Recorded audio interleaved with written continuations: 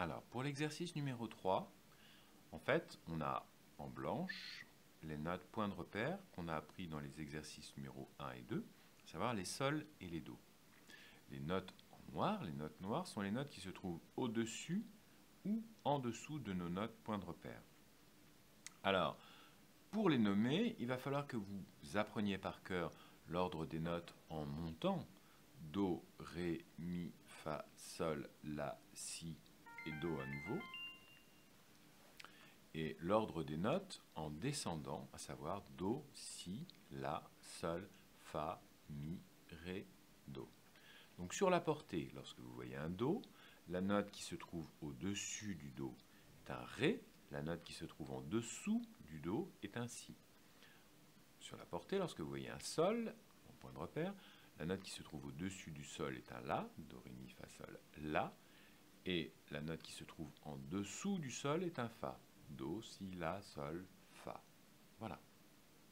Alors on va essayer lentement euh, de lire les notes. Je vous laisse le temps de, de commencer avant moi et je laisse un blanc à chaque fois pour que vous ayez le temps de dire la note. Je la nomme après.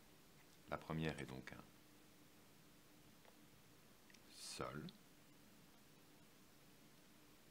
La, Sol, Do, Ré, Do, Sol, Fa, Sol, Do, Si, Do, Sol, Fa, Sol, Do, Ré, Do. Deuxième ligne. Do, Ré, Do. Do, Si, Do. Sol, La,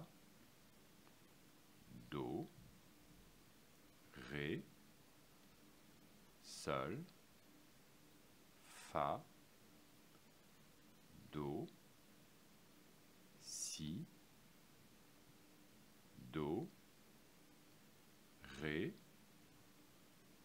Sol, Fa,